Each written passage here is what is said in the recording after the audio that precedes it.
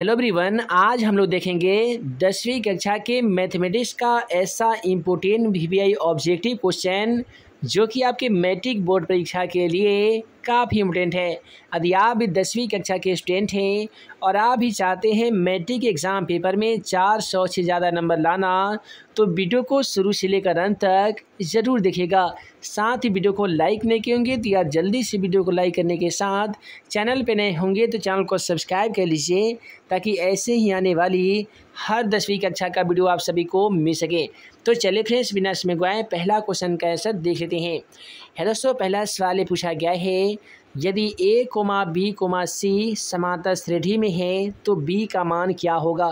देखिए बी का मान ज्ञात करने का आसान तरीका क्या है कि हम इसका सार्वंतर ज्ञात करेंगे, जिसका formula A two minus A one होता है। और दूसरा सार्वंतर ज्ञात करेंगे, जिसका फॉर्मूला लगाएँगे A three minus A two यदि दोनों का मान समान कर देंगे तो हमारा बी का मान तो आ ही जाएगा, है ना जी? तो देखिए, यहाँ पे ए टू का मान क्या है? तो ए टू का मान बी है तो हम यहाँ पे बी लिखेंगे। ए वन का मान ए है तो हम यहाँ पे ए लिखने वाले हैं।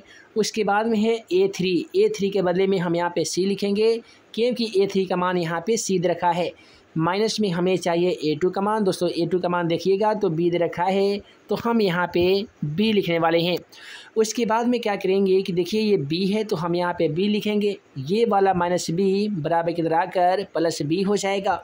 ये माइनस जो आप ए देख पा रहे हैं, बराबर की तरह जाकर ये प्लस में ए हो जाएगा। और यहाँ पे जो सी है, इसे प्लस सी ही हम लोग लिख देंगे।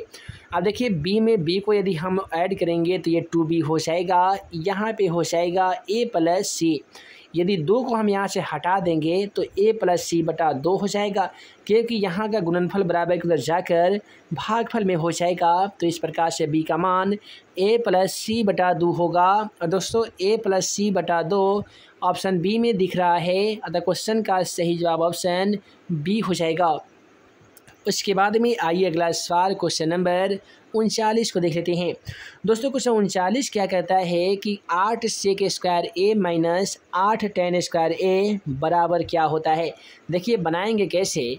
तो दोनों में जब आठ कमन मिल रहा है तो हम आठ को कमन कर लेंगे। जब आठ कमन कर लेंगे तो ये हो जाएगा सेक स्क्वायर ए माइनस हो जाएगा टेन स्क्वायर ए उसके बाद में आप सभी को बता दें, यहाँ पे जो आप आठ देख पा रहे हैं, आठ को हम आठ लिखेंगे। कोश हटेगा तो यहाँ पे गुना हो जाएगा। अब sec square theta minus tan square theta का मान तो एक होता है, यह एक फार्मूला है। जब आठ में हम एक से गुना करेंगे तो कितना होगा जी? आठ होगा। यानी क्वेश्चन का सही जवाब ऑप्शन सी हो जाएगा आठ। उसके बाद में आइए अगला सवाल क्वेश्चन नंबर चालीस को देख लेते हैं। क्वेश्चन चालीस को और बढ़ते हैं। कहता है, यदि द्विघात बहुपद P X square plus three X plus P का एक शून्य माइनस दो देखा, दो है तो दूसरा शून्य पी का मान ज्ञात कीजिए। यानी एक्स जहाँ जहाँ पे हमें दिख रहा है, वहाँ पे माइनस दो रखेंगे और इसे बना लेंगे। इस प्रकार से हमारा पी का मान आ ही जाएगा। चलिए बना के देख लेते हैं। पहले दिया गया पी एक्स स्क्वायर तो हम लिखेंगे पी गुने एक्स का मान माइनस दो है तो माइनस दो का स्क्वायर करेंगे। प्लस तीन गुने एक्स के बदले में माइनस दो लिखेंगे प्लस पी का सेम टू सेम लिखेंगे। अब देखिए माइनस दो का स्क्वायर कितना होता है जी? तो चार होता है, यानी माइनस के स्क्वायर प्लस हो जाएगा और दो दूनी चार हो जाएगा, यहाँ पे चार पी हो जाएगा। और तीन में दो ना करेंगे तो तीन दूनी ये माइनस छः हो जाएगा, और प्लस में हो जाएगा पी उसके बाद में हम लोग क्या करेंगे कि देखिए, ये चार पी है और इधर है पी तो चार पी में से पी को ऐड करेंगे तो कितना हो जाएगा? जी तो ये हो जाएगा पाँच पी और माइनस वाला छः बराबर तो जाकर ये प्लस में छः हो जाएगा। यदि हम केवल पी बराबर छः लिख देंगे तो पाँच जो आप गुना में देख पा रहे हैं, बराबर की जाकर ये भाग में हो जाएगा। इस प्रकार से दूसरा शून्य पी का जो मान आ जाएगा, वो छः बटा पाँच हो जाएगा और छः बटा पाँच ऑप्शन ए में दिख रहा है। अतः क्वेश्चन का सही जवाब ऑप्शन ए होगा छः बटा पाँच। उसके बाद में अगला सवाल क्वेश्चन में इकतालीस को देख लीजिए। क्वेश्चन में इकतालीस क्या कहता है जी? कि यदि एक बिंदु पी से ओ केंद्र वाले किसी वृत्त पर पी ए और पी बी स्पर्श रेखा परस्पर साठ डिग्री के कोण पर झुके हो तो कौन ए ओ बी बराबर क्या हो जाएगा? मैट्रिक एग्ज़ाम पेपर में ऐसे सवाल हमेशा पूछे जाते हैं, लेकिन काफ़ी स्टूडेंट ऐसे क्वेश्चन का आंसर बनाने में नर्वस हो जाते हैं। देखिए, आसान सा ठीक मैं आप सभी को बता दूँ कि जब यहाँ पे साठ डिग्री दिया गया है तो आप सभी को मालूम होगा कि त्रिभुज के तीनों कोणों का योगफल एक सौ अस्सी डिग्री होता है है ना जी? तो आपको यहाँ पे दिमाग इस प्रकार से लगाना होगा कि साठ डिग्री में हम कितना डिग्री को ऐड करेंगे कि दोनों का मान हमारा 180 हो जाएगा। तो 60 डिग्री में यदि हम 120 डिग्री को ऐड कर देंगे तो हमारा मान 180 डिग्री के बराबर हो जाएगा। इसलिए क्वेश्चन का सही जवाब ऑप्शन डी होगा जी 120 डिग्री। उसके बाद में अगला सवाल क्वेश्चन बयालीस कहता है कि वन माइनस कॉट स्क्वायर पैंतालीस डिग्री बटा वन प्लस कोट स्क्वायर पैंतालीस डिग्री का मान क्या होता है? तो हम यहाँ पे क्या करेंगे? वन माइनस कोट पैंतालीस डिग्री का मान एक होता है तो हम यहाँ पे एक का स्क्वायर करेंगे। उसके बाद ये वन प्लस कोट स्क्वायर पैंतालीस डिग्री तो कोट में पैंतालीस डिग्री का मान एक होता है, इसका हम कर देंगे स्क्वायर अब एक माइनस एक का स्क्वायर तो एक होता है, फिर हम लिखेंगे एक प्लस एक का स्क्वायर एक होता है। अब देखिए, एक में से एक को घटा लीजिएगा तो आपको ज़ीरो बचेगा, और एक में एक ऐड करिएगा तो दो बचेगा। ज़ीरो में दो से भाग लगा देंगे तो ज़ीरो ही होगा। है ना जी? तो यहाँ पे क्वेश्चन नंबर बयालीस का जो राइट आंसर हो जाएगा, वो क्या हो जाएगा? तो ये हो जाएगा ऑप्शन बी यानी ज़ीरो उसके बाद में चलिए अगला सवाल, क्वेश्चन तैंतालीस को बढ़ते हैं। क्वेश्चन तैंतालीस कहता है, त्रिभुज ए बी सी में कोण ए बराबर नाइन्टी डिग्री है। ए बी का मान पाँच सेमी ए सी का मान बारह सेमी और ए डी लंब बी सी है तो ए डी बराबर क्या हो जाएगा? यहाँ पे क्वेश्चन तैंतालीस का राइट आंसर ऑप्शन सी हो जाना चाहिए। देखिए क्या होगा कि बारह पच्चीस साठ होता है, बारह पाँच को ऐड कीजिएगा तो ये आपका साठ हो जाएगा। अब यहाँ पे क्या होगा कि जब हम निकालेंगे ए सी सॉरी ए बी तो इसका कैसे करेंगे? बारह का स्क्वायर करेंगे तो एक सौ चौवालीस हो जाएगा, पाँच का स्क्वायर करेंगे तो पच्चीस हो जाएगा। दोनों को जब ऐड करेंगे तो एक सौ उनहत्तर, और एक सौ उनहत्तर का वर्गमूल तेरह होता है तो हम यहाँ पे आसान तरीके से तेरह लिख सकते हैं। तो साठ बटा तेरह क्वेश्चन का राइट आंसर ऑप्शन सी में दिख रहा है। अतः क्वेश्चन का सही जवाब ऑप्शन सी होगा जी। उसके बाद में अगला सवाल यहाँ पे क्वेश्चन चौवालीस को देख लीजिए। कहता है कि cos into ninety degree minus theta बराबर क्या होता है? त्रिकोणमिति में यदि कौटिपूरक वाला फार्मूला याद किए होंगे तो आप सभी को मालूम होगा कि वहाँ पे एक फार्मूला आता है कि साइन थीटा क्या जी? साइन थीटा साइन इंटू नब्बे माइनस थीटा बराबर होते हैं कॉस थीटा अब साइन के बदले में जब कॉस को कीजिएगा तो ये कॉस इंटू नब्बे माइनस थीटा बराबर साइन थीटा नहीं बनेगा। बिल्कुल बनेगा। तो आपको याद रखना होगा कि कॉस इंटू नब्बे माइनस थीटा बराबर साइन थीटा होते हैं तो वहीं पे साइन इंटू नब्बे माइनस थीटा बराबर कॉस थीटा हो जाते हैं। उसके बाद में अगला सवाल क्वेश्चन पैंतालीस की ओर बढ़ते हैं। क्वेश्चन पैंतालीस क्या कहता है कि छः सेमी त्रिज्या वाले वृत्त के केंद्र से आठ सेमी दूर स्थित एक बिंदु से वृत्त पर खींची गई स्पर्श रेखा की लंबाई कितनी हो जाएगी? देखिए कहता है कि छः सेमी त्रिज्या वाले वृत्त के केंद्र से एक वृत्त बनाया गया है, जिसका केंद्र क्वेश्चन के अकॉर्डिंग कितना है? छः सेमी का ये केंद्र है। आठ सेमी दूरी से इसी केंद्र से आठ सेमी की दूरी पर कोई बिंदु है, जिसका नाम हम पी ले लेते हैं। अब यहाँ से वृत्त पर एक स्पर्श रेखा खींच दी गई है और इसी स्पर्श रेखा की लंबाई हमें बताना होगा।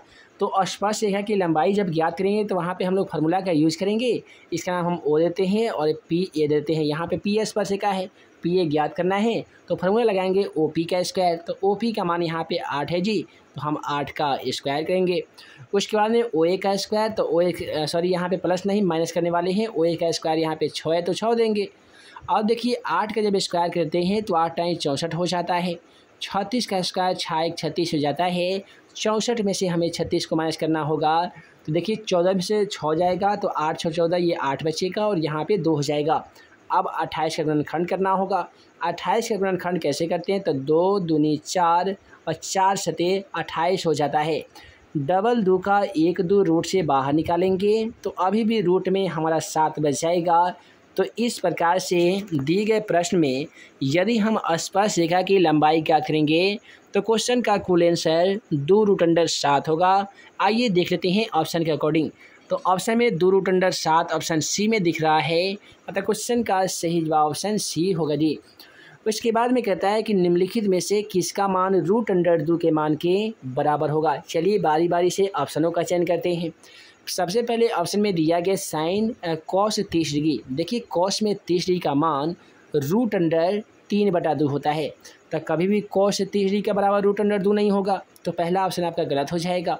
ऑप्शन बी में दिया गया है कि साइन पैंतालीस डिग्री। देखिए, साइन में पैंतालीस डिग्री का जो मान होता है, वो एक बटा रूट अंडर दो होता है। तो ये भी आपका ऑप्शन गलत हो जाएगा, क्योंकि हमें रूट अंडर दो ही चाहिए। और कोसेक में पैंतालीस डिग्री का जो मान होता है, ये रूट अंडर दो होता है। साइन तीस का मान एक बटा दो होता है। जब सभी का मान सारणी के अकॉर्डिंग मान लिख लीजिएगा तो रूट अंडर दो किसके बराबर आएगा? तो कौशिक पैंतालीस डिग्री के। क्योंकि कौशिक पैंतालीस और सेक पैंतालीस डिग्री का जो मान होता है, वो रूट अंडर दो के मान के बराबर होता है। उसके बाद में, अब आइए अब हम लोग अगला सवाल क्वेश्चन नंबर सैंतालीस को देखते हैं। क्वेश्चन सैंतालीस में कहता है कि चित्र में एस टी समानांतर क्यू है क्यू आर है तो एक्स का मान बताइए। देखिए थेसर में कहता है किसी त्रिभुज के एक भुजा का समानांतर खींची रेखा अन्य दो भुजा को समान अनुपात में विभाजित करता है। तो यहाँ पे हम क्या करेंगे? जैसे चार दिया गया तो चार बटे एक्स माइनस चार है तो एक्स माइनस चार लिखेंगे। बराबर में फिर से लिखेंगे आठ बटे, ये थ्री एक्स माइनस उन्नीस है, थ्री एक्स माइनस उन्नीस लिखिएगा। और क्रॉस मल्टीप्लिकेशन कर दीजिए। आपका क्वेश्चन का आंसर तैयार है, आ ही जाएगा। तीन में चार ना करेंगे तो ये चार तियाँ बारह हो जाएगा। हम यहाँ पे लिखेंगे बारह एक्स और उन्नीस चौका यहाँ पे छिहत्तर हो जाएगा। आठ में एक से गुना करेंगे तो ये आठ एक हो जाएगा, और यहाँ पे आठ चौका बत्तीस जाएगा। अब देखिए यहाँ पे क्या करेंगे कि बारह एक्स प्लस आठ एक्स इधर आकर ये माइनस आठ एक्स हो जाएगा। यहाँ पे है माइनस बत्तीस, माइनस छिहत्तर जाकर ये हो जाएगा प्लस छिहत्तर। बारह एक्स में से यदि हम आठ एक्स को माइनस करेंगे तो ये चार एक्स हो जाएगा। अब देखिए, माइनस बत्तीस में से छिहत्तर को माइनस करना है, यानी माइनस बत्तीस प्लस छिहत्तर हो जाएगा। तो छः में से दो जाता है तो ये चार बचता है। सात में से तीन जाता है तो ये चार बचता है। तो ये चार एक्स बराबर चौवालीस आ गया जी। चार एक्स बराबर कितना आया है? चौवालीस आया है। यदि हम एक्स बराबर लिख दें चौवालीस तो चार जो आप गुना में देख पा रहे हैं बराबर के उधर जाकर ये भाग में हो जाएगा और इसे आसानी तरीके से कटा दीजिएगा। तो ग्यारह चौका चौवालीस, यानी ये ग्यारह मरतबे कट जाएगा। इस प्रकार से क्वेश्चन सैंतालीस का सही जवाब ऑप्शन बी होगा ग्यारह। है दोस्तों, जैसा कि आप सही वाले स्क्रीन पे आज का पहला सवाल क्वेश्चन नंबर ए को देख पा रहे हैं। पहला सवाल कहता है, किस दर्पण की फोकस दूरी ऋणात्मक होता है? यानी वह कौन ऐसा दर्पण है, जिसकी फोकस दूरी यानी एफ़ का जो मान है, वो माइनस में लिया जाता है, ऋणात्मक में लिया जाता है। दोस्तों, आप सभी को बता दें, उत्तल दर्पण की फोकस दूरी धनात्मक यानी प्लस में होती है, वहीं पे अवतल दर्पण की फोकस दूरी ऋणात्मक यानी माइनस में होती है। उसके बाद में अगला सवाल क्वेश्चन दो कहता है कि दर्पण की फोकस दूरी जिसे एफ़ द्वारा सूचित किया जाता है और वक्ता त्रिज्या जिसे आर द्वारा सूचित किया जाता है, में क्या संबंध है? दोस्तों, सबसे पहले एफ़ का मान यानी फोकस दूरी पूछा गया है। तो एफ़ बराबर आर बाई टू होता है और एफ़ बराबर R by two option B में दिया गया है। अतः क्वेश्चन का सही जवाब ऑप्शन बी होगा। उसके बाद में अगला सवाल क्वेश्चन नंबर तीन को देख लीजिए। है दोस्तों, अगला सवाल क्वेश्चन तीन कहता है कि दृष्टि के लिए अस्पष्ट दृष्टि की न्यूनतम दूरी कितनी होती है? आसान शब्दों में कहे तो मनुष्य का जो आँख है वो कम से कम कितनी दूरी पर वस्तुओं को साफ़ साफ़ देख सकता है? यानी कम से कम किसी वस्तु को देखने की जो दूरी है वो कितनी होनी चाहिए? तो क्वेश्चन का सही जवाब पच्चीस सेमी हो जाएगा, यानी पच्चीस सेंटीमीटर हो जाएगा। उसके बाद में आइए अगला सवाल, क्वेश्चन चार को देखते हैं। कहता है, श्वेत प्रकाश का कौन सा रंग किसी प्रिज्म से गुजरने के पश्चात सबसे कम झुकता है? मैट्रिक एग्ज़ाम पेपर के लिए क्वेश्चन मोस्ट इम्पोर्टेंट है। देखिए, मान लेते हैं कि यह एक प्रिज्म है। जब प्रिज्म से श्वेत प्रकाश गुजरता है तो इस प्रकार से सात रंगों में विभक्त हो जाता है। इसी सात रंगों में विभक्त होने की घटना को प्रकाश का प्रविक्षेपण या वर्ण विक्षेपण कहते हैं, जिसमें सबसे ऊपर का जो रंग होता है वो लाल होता है, सबसे नीचे होता है बैगनी। यहाँ पे क्वेश्चन पूछा गया है कि श्वेत प्रकाश का कौन ऐसा रंग है जो प्रिज्म से गुजरने के बाद सबसे कम झुकता है? तो सबसे ऊपर होता है लाल रंग जो सबसे कम झुकता है और सबसे अधिक झुकता है बैगनी। तो हमसे पूछा गया कम में तो क्वेश्चन का सही जवाब लाल हो जाएगा जी, ऑप्शन सी हो जाएगा। अगला सवाल कहता है कि मानव आँख की रेटिना द्वारा बनाई गई छवि कैसी होती है? आसान शब्दों में कहे तो क्वेश्चन कहता है कि मनुष्य की आँख के द्वारा रेटिना पर जो भी बनाई गई छवि जो होती है, उसे क्या कहते हैं? तो क्वेश्चन का सही जवाब वास्तविक और उल्टा हो जाएगा। क्योंकि मनुष्य के आँख में उत्तर लेंस पाया जाता है और उत्तर लेंस के द्वारा किसी वस्तु का प्रतिबिंब वास्तविक और उल्टा बनता है। आइए अगला सवाल क्वेश्चन नंबर छः को देखते हैं। क्वेश्चन नंबर छः कहता है, आकाश का रंग नीला प्रतीत होता है, यानी आकाश का जो रंग है वो नीला दिखाई देता है, इसका क्या कारण है? देखिए, प्रकाश के प्रकीर्णन के कारण ही आकाश का जो रंग है वो हमें नीला दिखाई देता है।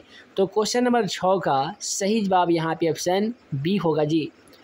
उसके बाद में आइए अगला साल क्वेश्चन सात को देखते हैं। किस दर्पण से वस्तु का प्रतिबिंब बड़ा बनता है। वह कौन ऐसा दर्पण है जिसके द्वारा किसी वस्तु का प्रतिबिंब बड़ा बन जाता है? आप सभी को बता दें, अवतल दर्पण में किसी वस्तु का प्रतिबिंब बड़ा बनता है, उत्तल दर्पण में किसी वस्तु का प्रतिबिंब छोटा बनता है, समतल दर्पण में किसी वस्तु का प्रतिबिंब समान बनता है। हालाँकि पूछा गया वह कौन सा दर्पण है जिसमें किसी वस्तु का प्रतिबिंब वस्तु से बड़ा बनता है? क्वेश्चन का राइट आंसर ऑप्शन बी हो जाएगा, अवतल दर्पण। उसके बाद में अगला सवाल कहता है कि निम्नलिखित में से कौन सा लेंस निकट दृष्टि दोष को ठीक करने के लिए उपयोग किया जाता है? आप सभी को बता दें, उत्तर लेंस के द्वारा जरा यानी दूर दृष्टि दोष को दूर किया जाता है।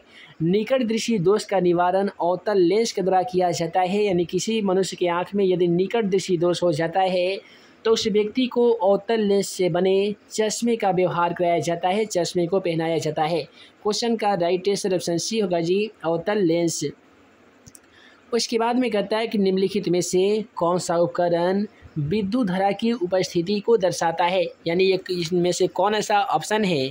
जो विद्युत की उपस्थिति को दर्शाता है, यानी यह बताता है कि लाइट है या नहीं है, करंट है या नहीं है। देखिए, जनरेटर तो हमें बता नहीं सकता है वोल्ट मीटर से वोल्ट मीटर से द्वारा विभवान्तर मापा जाता है तो भी नहीं बताएगा। मोटर भी हमें नहीं बता सकता है कि लाइट है या नहीं है।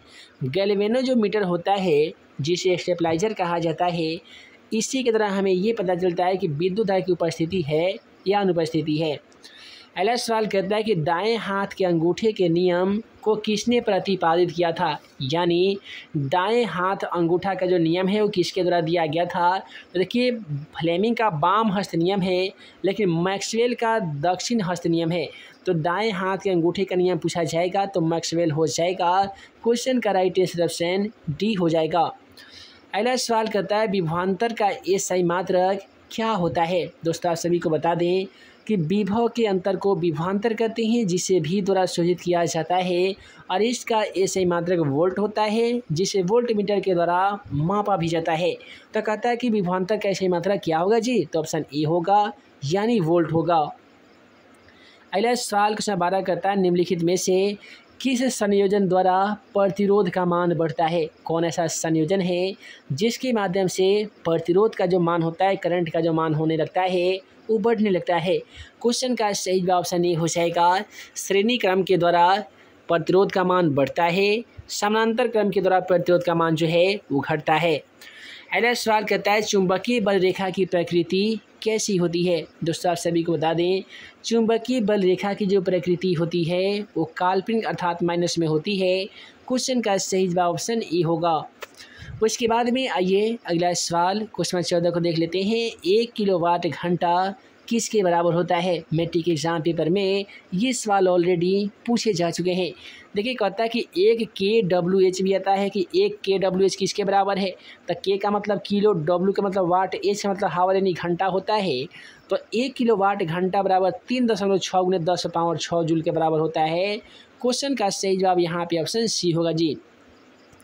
चलिए अगला सवाल क्वेश्चन पंद्रह को देखते हैं। नवीकरणीय ऊर्जा का स्रोत क्या है? हमें नवीकरणीय ऊर्जा का स्रोत बताना होगा। यानी वैसी ऊर्जा जिसे हम पुनः प्राप्त कर सकते हैं, उसे नवीकरणीय ऊर्जा कहते हैं। जैसे सौर ऊर्जा हो गया, ज्वारीय ऊर्जा हो गया, पवन ऊर्जा हो गया, ये सब के सब होते हैं नवीकरणीय ऊर्जा के स्रोत। यहाँ पे कोयले से प्राप्त ऊर्जा अगर ऑप्शन में दिया गया है। तो ये नवीकरणीय नहीं बल्कि अनवीकरणीय ऊर्जा के स्रोत है, क्योंकि कोयला एक नवीकरणीय संसाधन होता है। अगला सवाल कहता है कि कौन सा लेंस अवसारी लेंस भी कहलाता है। दोस्तों, याद रखिएगा, अवतल लेंस को अवसारी लेंस कहते हैं उत्तर लेंस को अभिसारी लेंस कहते हैं। लेकिन यहीं पे चेंज हो जाता है।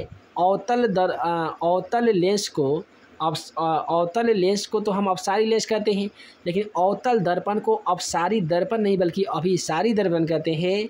उत्तल लेंस को अभिसारी लेंस नहीं, बल्कि अवसारी लेंस कहते हैं। अगला सवाल सत्रह नंबर क्वेश्चन कहता है, प्रकाश का प्राथमिक वर्ण कौन सा है? देखिए, वर्ण के तीन प्रकार होते हैं, ठीक है जी? वर्ण के तीन प्रकार होते हैं। पहला है, बताया गया कि प्राथमिक वर्ण, जो किसी भी वर्ण के सहायता से नहीं बनता है, उसे प्राथमिक वर्ण कहते हैं। द्वितीयक वर्ण क्या होता है कि जब दो कलर को एक साथ मिलाया जाता है, जैसे मैजेंटा हो गया, सियान हो गया, गोल्डन कलर हो गया, ये सब के सब द्वितीयक वर्ण होता है। और जो सभी रंगों के मिलाने से जो रंग बनता है, जैसे श्वेत हो गया, इसे हम लोग संपूरक वर्ण कहते हैं। तो कहता है कि कौन सा प्राथमिक वर्ण है? तो देखिए, लाल किसी अन्य रंग को मिलाने से नहीं बनता है, नीला भी नहीं बनता है और हरा भी नहीं बनता है। ये क्योंकि तीनों का अलग अलग अपना खुद का कलर होता है। इसीलिए क्वेश्चन का सही जवाब ऑप्शन डी होगा उपयुक्त में से सभी। उसके बाद में क्वेश्चन अठारह कहता है, निम्नलिखित में से कौन नेत्र का रंगीन भाग होता है? मनुष्य के आँख का कौन सा रंगीन भाग होता है? तो उसे हम लोग आयरिस कहते हैं। क्वेश्चन का सही जवाब ऑप्शन डी होगा जी, आयरिस। उसके बाद में कहता है कि एक एच पी एक एच पी बराबर क्या होता है? देखिए, एक एच पी बराबर जो होता है ना जी वो सात सौ छियालीस वाट होता है। हालाँकि मैट्रिक एग्ज़ाम पेपर में इस सवाल कभी नहीं पूछा गया था, लेकिन बिहार बोर्ड जब अपना ऑफिशियल मॉडल पेपर को जारी किया तो उसमें यह क्वेश्चन शामिल था, इसलिए आपके एग्ज़ाम पेपर के दृष्टिकोण से ये क्वेश्चन इम्पोर्टेंट है। अगला सवाल करता है कि विशालक शीशा जिसे मैग्नीफाइंग ग्लास कहा जाता है इसमें किस लेंस का प्रयोग किया जाता है? दोस्तों, आप सभी को बता दें, विशालक जब शीशा का नाम आ गया है तो विशालक यानी विशाल जो दृष्टि क्षेत्र होता है, वो किसका होता है? तो उत्तर लेंस का होता है। इसीलिए मैग्नीफाइंग ग्लास जो होता है, वो उत्तर लेंस का ही होता है। उसके बाद में कहता है कि जब किसी चालक तार से विद्युत धारा प्रवाहित की जाती है तो गतिशील कण को क्या कहते हैं? मैट्रिक एग्ज़ाम पेपर में ये सवाल बहुत ही ज़्यादा बार पूछा गया है। पहला ऑप्शन में है, परमाणु, आयन, प्रोटॉन और डी में दिया गया इलेक्ट्रॉन आपको क्या सही जवाब लगता है? कमेंट सेक्शन में चले जाइए और अपने नाम के द्वारा इस आंसर को लिख चले आइए। आगे आने वाली वीडियो सीरीज़ में क्वेश्चन इक्कीस का आपके द्वारा बताए गए तमाम छात्र छात्राओं का नाम अगले वीडियो में बताया जाएगा, जिसका आंसर सबसे पहले आएगा।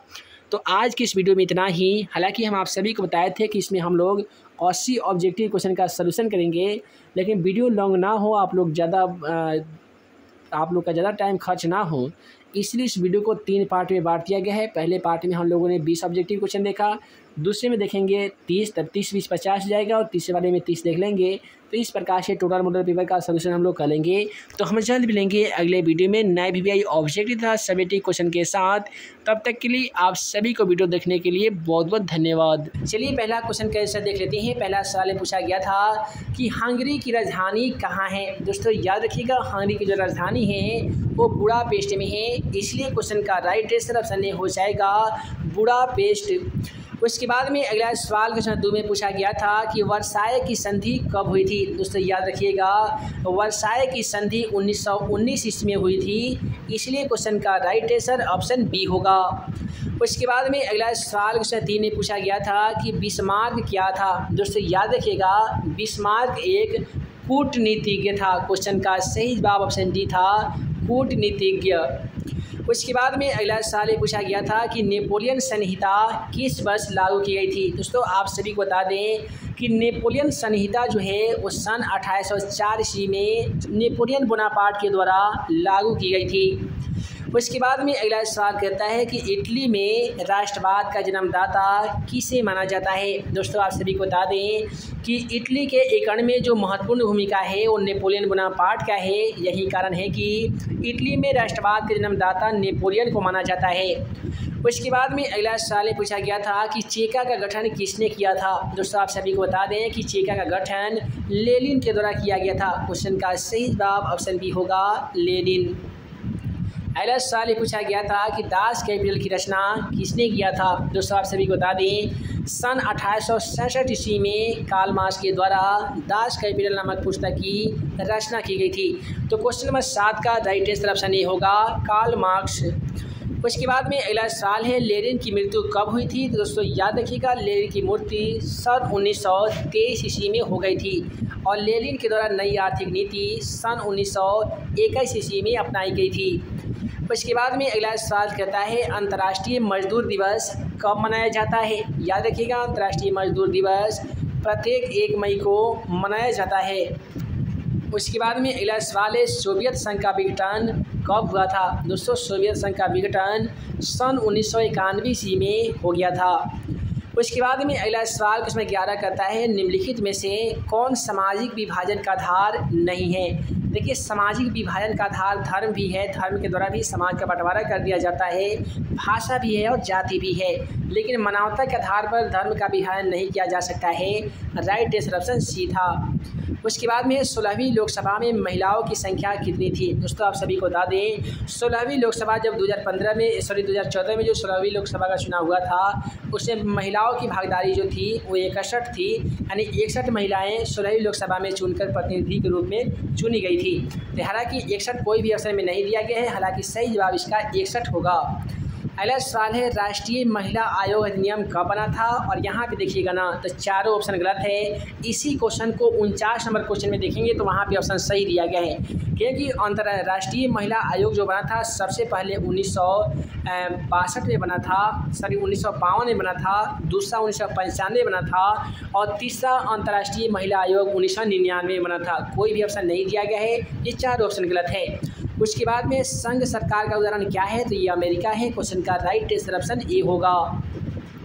अगला सवाल क्वेश्चन पंद्रह को देख लीजिए। इंग्लैंड में महिलाओं को वयस्क मताधिकार कब प्राप्त हुआ था? दोस्तों, राइट आंसर ऑप्शन डी था। इंग्लैंड में महिलाओं को वयस्क मताधिकार सन उन्नीस सौ अट्ठाईस ईस्वी में प्राप्त हुआ। अगला सवाल काफ़ी ही सिंपल पूछा गया था कि भारत में कितने राज्य है? आप सभी को बता दें कि भारत में उनतीस राज्य है। क्वेश्चन का राइट आंसर ऑप्शन सी हो जाएगा। उसके बाद में ग्राम पंचायत का कार्यकाल कितने वर्षों का होता है? तो आप सभी को बता दें कि ग्राम पंचायत का कार्यकाल केवल पाँच वर्ष का होता है। ग्राम कचहरी का प्रधान कौन होता है? बहुत सारे स्टूडेंट तो इसका आंसर मुखिया मारे होंगे, लेकिन आप सभी को बता दें कि ग्राम कचहरी का प्रधान सरपंच होता है। क्वेश्चन का राइट आंसर ऑप्शन डी हो जाएगा। उसके बाद में अगला सवाल पूछा गया था, निम्नलिखित में से कौन सा केंद्र शासित प्रदेश है? ऑप्शन को देखिएगा तो झारखंड, सिक्किम और केरल। ये तीनों के तीनों राज्य है। ऑप्शन ए में दिया गया था चंडीगढ़, जो केंद्र शासित प्रदेश है। उसके बाद में कि किस देश में मिश्रित अर्थव्यवस्था है? आप सभी को हम बताए थे पिछले वाले वीडियो लेक्चर में कि पूरे विश्व में भारत एक ऐसा देश है जहाँ मिश्रित अर्थव्यवस्था विद्यमान है। तो क्वेश्चन का राइट आंसर ऑप्शन सी हो जाएगा। उसके बाद में निम्नलिखित में से कौन पिछड़ा राज है? आप सभी को बता दें, बहुत ही अफसोस के साथ करना पड़ता है कि बिहार राज्य को ही पिछड़ा राज कहा जाता है। इसके बाद में अगला सवाल क्वेश्चन बाईस से पूछा गया था कि जनसंख्या की दृष्टि से बिहार का कौन सा स्थान है? आप सभी को बता दें कि जनसंख्या की दृष्टि से बिहार का जो स्थान है, वो तीसरा स्थान है। क्वेश्चन का बिल्कुल सही जवाब ऑप्शन सी हो जाएगा तीसरा। उसके बाद में अगला सवाल क्वेश्चन तेज को देख लीजिए कि भारत में नीति आयोग की स्थापना कब की गई थी? आप सभी को बता दें कि भारत में नीति आयोग की स्थापना सन 2014 ईस्वी में नरेंद्र मोदी के द्वारा की गई थी। क्वेश्चन का सही जवाब ऑप्शन बी हो जाएगा 2015 ईस्वी में। उसके बाद में कहता है कि बिहार में कितने प्रतिशत लोग कृषि पर निर्भर है? आप सभी को बता दें कि बिहार में लगभग छियासी प्रतिशत जो लोग हैं, वो कृषि पर निर्भर रहते हैं। हालाँकि छियासी ऑप्शन में नहीं दिया गया है, इसलिए इसका सही जवाब ऑप्शन सी होगा पचासी प्रतिशत। उसके बाद में कहता है कि भारत एक राष्ट्र है तो दोस्तों याद रखिएगा, भारत एक विकासशील राष्ट्र है। क्वेश्चन का सही ऑप्शन बी था। उसके बाद में कहता है कि पूंजी का परिश्रमिक है तो दोस्तों पीजी का परिश्रमिक क्या होता है? तो लाभ हानि तो होगा नहीं, इसका वेतन या ब्याज होगा? कमेंट सेक्शन में बहुत ज़रूर बताइएगा। अगला सवाल पूछा गया था कि बिहार के किस ज़िले का प्रति व्यक्ति आय सर्वाधिक है तो आप सभी को बता दें कि बिहार में जो प्रति व्यक्ति आय जो अधिक है, वो पटना जिला के है। भारत भारत में पूछा जाएगा, राज्य में पूछा जाएगा तो गोवा हो जाएगा, बिहार के जिला में पूछा जाएगा तो पटना हो जाएगा। अगला सवाल कहता है कि ऊर्जा के मुख्य स्रोत क्या है? दोस्तों, याद रखिएगा, ऊर्जा का मुख्य स्रोत कोयला को माना जाता है। उसके बाद ये कहता है कि भारत में कितने प्रकार की मृदा पाई जाती है? दोस्तों, आप सभी को बता दें कि भारत में पूरे पाँच प्रकार की मृदा, यानी मिट्टी पाई जाती है। हालाँकि पाँच ऑप्शन में दिया ही नहीं गया है। उसके बाद में कहता है कि आधुनिक सभ्यता का रीढ़ किसे माना जाता है? तो याद रखिएगा, आधुनिक सभ्यता का जो रीढ़ है, वो मैग्नीज को माना जाता है और भारत में लगभग सौ प्रकार के खनिज पाए जाते हैं। उसके बाद में कहता है कि राष्ट्रीय जल नीति भारत में कब लागू की गई थी? दोस्तों, याद रखिएगा, भारतीय जल नीति जो है, वो भारत में 2002 ईस्वी में लागू की गई थी। बहुत सारे स्टूडेंट कहते हैं, दो हज़ार एक में लागू की गई थी तो आप इसका आंसर देख लीजिएगा। ताप विद्युत केंद्र कहाँ है? तो देखिए, बरौनी, समस्तीपुर, कटिहार और गया में तो होगा नहीं। सही जवाब, बरौनी हो जाएगा। काली मृदा का दूसरा नाम क्या है? याद रखिएगा, काली मृदा का दूसरा नाम रेगुर मृदा या लेटराइट है। क्वेश्चन का सही जवाब ऑप्शन बी होगा। उसके बाद में निम्नलिखित में से कौन सा अधात्विक खनिज का उदाहरण है? यानी कौन सा ऑप्शन है जो अधात्विक खनिज का उदाहरण है? तो सोना तो धातु है टीन धातु है, ग्रेफाइट धातु है अवरक धातु है, सही जवाब ऑप्शन सी होगा। उसके बाद में कहता है कि एशिया का सबसे बड़ा परमाणु विद्युत गृह कहाँ है? तो याद रखिएगा, एशिया का सबसे बड़ा परमाणु विद्युत गृह ही तारापुर में स्थित है। किस राज्य में वन का सर्वाधिक विस्तार है? तो आप सभी को हम बताए थे कि मध्य प्रदेश एमपी के राज्य है, जो भारत में सबसे बड़ा वन उत्पादक राज्य माना जाता है। यहीं पे सबसे ज़्यादा घना जंगल है। अवरक कितने किस्म में पाई जाती है तो आप सभी को बता दें कि अवरक की जो किस्म होती है, वो दो होती है। हालाँकि दो ऑप्शन में दिया ही नहीं गया है, लेकिन अवरक का किस्म की बात करेंगे तो ये दो किस्म की होती है। अगला साल है मैगनीज उत्पादन में विश्व में भारत का कौन सा स्थान है? दोस्तों, याद रखिएगा, मैगनीज का उत्पादन करने में भारत का विश्व में पहला स्थान है। क्वेश्चन का सही ऑप्शन ए हो जाएगा जी। उसके बाद ये पूछा गया था, निम्नलिखित में से कौन सा प्राकृतिक आपदा नहीं है? आप सभी को हम बताए थे कि वैसी आपदा जो प्रकृति कारणों से घटित होती है, उसे प्रकृति का आपदा कहते हैं, जैसे भूकंप, ज्वालामुखी, विस्फोट, सुनामी, बाढ़, ये सब हो जाएगा। तो देखिए, यहाँ पे सुनामी, भूकंप, बाढ़, ये सभी प्रकृति का आपदा तो है, लेकिन आतंकवाद जो है मानव जनित आपदा है। तो यही क्वेश्चन का सही जवाब हो जाएगा। उसके बाद में कहता है सुनामी किस स्थान पर आती है? दोस्तों सुनामी का संबंध समुद्र से होता है, क्योंकि समुद्र में जब भूकंप आता है, उसे सुनामी कहते हैं। क्वेश्चन का सही जवाब ऑप्शन बी हो जाएगा। उसके बाद में कहता है कि यूरोप का मरीज़ किसे कहा जाता है? दोस्तों, याद रखिएगा, यूरोप का जो मरीज़ है, वो तुर्की देश को कहा जाता है। क्वेश्चन का सही जवाब ऑप्शन डी हो जाएगा। उसके बाद में अगला सवाल है, यंग इटली का संस्थापक किसे माना जाता है? आप सभी को मालूम होगा कि सन अठारह सौ इकतीस ईस्वी की बात है, जब मेजनी के द्वारा यंग इटली नामक संस्था की स्थापना की गई थी। उसके बाद में कुछ में तैंतालीस कहता है अंकुरवाट का मंदिर किस देश से बनाया गया है? तो याद रखिएगा अंकुरवाट का मंदिर कम्बोडिया देश में सूर्य वर्मन की द्वितीय के द्वारा बनवाया गया था। उसके बाद में भाखड़ा नंगल बाँध किस नदी पर स्थित है? तो आप सभी को बता दें कि भाखड़ा नंगल बाँध सतलज नदी में बनाया गया है। उसके बाद में कहता है कि भारत का राष्ट्रीय पक्षी कौन है? आह, कितना सिंह साल है। भारत का राष्ट्रीय जो पक्षी है, वो मयूर यानी मोर है। उसके बाद में कहता है कि बिहार में विनाशकारी भूकंप कब आया था? आप सभी को बता दें कि बिहार में जो सबसे पहला विनाशकारी भूकंप था, वो सन उन्नीस सौ चौंतीस ईस्वी में आया था, जिसमें ज़मीनें फट गई थी, दरारें पड़ गई थी और काफ़ी ज़्यादा मात्रा में बालू ज़मीन पर आ गए थे। अगले सवाल यहाँ पे फिर से क्वेश्चन रिपीट किया गया है कि राष्ट्रीय महिला आयोग अधिनियम किस वर्ष बना था? आपसे भी बता दें कि भारतीय राष्ट्रीय महिला आयोग अधिनियम सन उन्नीस सौ इकसठ ईस्वी में बनाया गया था। उसके बाद में कहता है प्राचीन काल में जाति प्रथा का आधार क्या था? आप सभी को बता दें, प्राचीन काल में जाति प्रथा का जो आधार था, वो धर्म था। क्वेश्चन का राइट आंसर ऑप्शन बी होगा। उसके बाद कहता है, राष्ट्रीय विकास परिषद का गठन कब हुआ था? दोस्तों, आप सभी को बता दें राष्ट्रीय विकास परिषद का गठन सन उन्नीस सौ बावन ईस्वी में हुआ था। अगला साल पचास नंबर क्वेश्चन कहता है कि भारत में योजना आयोग की स्थापना कब की गई थी? दोस्तों, आप सभी को बता दें, पंद्रह मार्च उन्नीस सौ पचास ईस्वी को भारत में योजना आयोग का गठन किया गया था। दोस्तों, आशा करते हैं इस वीडियो में आप सभी को जितने भी एक से लेकर पचास तक के ऑब्जेक्टिव क्वेश्चन का सोल्यूशन किए थे, इसमें जितना भी आप सभी का सही होगा कमेंट सेक्शन में जाकर आप अपना उत्तर ज़रूर लिखिएगा। इस वीडियो में हम आप सभी को एक से लेकर पचास तक के सामाजिक विज्ञान फ़र्स्ट टर्मिनल एग्जामिनेशन में पूछे गए तमाम क्वेश्चनों का आंसर का लिए हैं। आगे आने वाली वीडियो लेक्चर में हम लोग हिंदी का, संस्कृत का, उर्दू हिंदी और इसके साथ साथ मैथ और साइंस का जो पेपर बाकी है, सभी का एग्ज़ाम से पहले उसका एसर की देखना चाहते हैं तो या जल्दी से चैनल को सब्सक्राइब कर लीजिए, ज़्यादा से ज़्यादा स्टूडेंट में वीडियो को शेयर कर लीजिए, ताकि वे लोग भी एग्ज़ाम से पहले क्वेश्चन का लाभ उठा पाएँ। हम जल्द मिलेंगे अगले वीडियो में नए वी वी दसवीं कक्षा का इम्पोर्टेंट क्वेश्चन के साथ। तब तक के लिए आप सभी को वीडियो देखने के लिए बहुत बहुत धन्यवाद।